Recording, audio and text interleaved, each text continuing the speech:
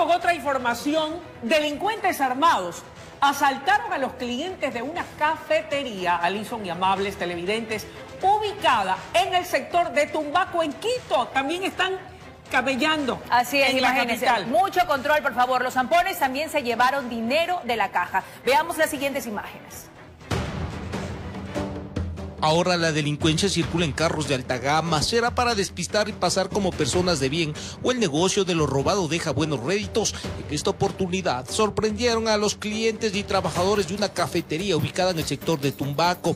El vehículo en el que llegaron ni placa tenía. ¿Será que la sacaron para evitar ser identificados o era recién comprado? La unidad económica contaba con el botón de seguridad, lamentablemente por el hecho eh, que se dio de forma rápida, lamentablemente no se pudo accionar el botón de seguridad.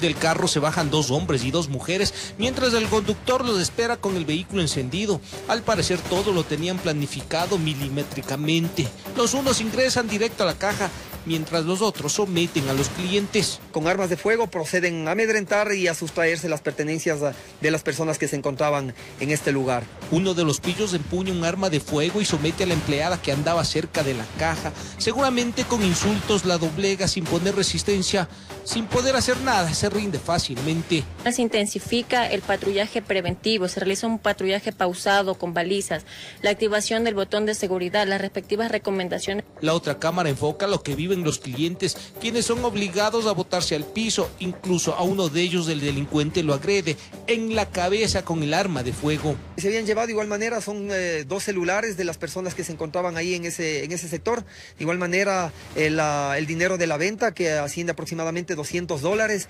Los videos están en manos de la policía, busca de algún indicio que los lleve hasta los pillos de alto vuelo. Paradójicamente en la esquina de la cafetería este rótulo, advirtiendo a los amigos de lo ajeno que no hay espacio para los delincuentes.